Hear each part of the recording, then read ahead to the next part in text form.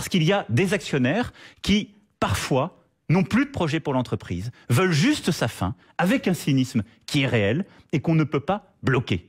Le mot actionnaire n'est pas présent à l'intérieur de votre programme. Le mot dividende, alors qu'on sait qu'il y a eu un triplement de la part des dividendes dans la valeur ajoutée depuis les années 80, qu'on a eu cette année des dividendes records versés par les entreprises du CAC 40, le mot dividende est absent de votre programme. Quoi, Donc tes oui. actionnaires cyniques alors? Oui, cela On d'abord. travaille avec eux ou pas? Non, on ne travaille pas avec Bécard. eux. Non, on ne travaille pas avec eux. On leur demande le remboursement des aides lorsqu'ils en ont perçu, ce qu'on a fait à chaque fois. Deuxième point.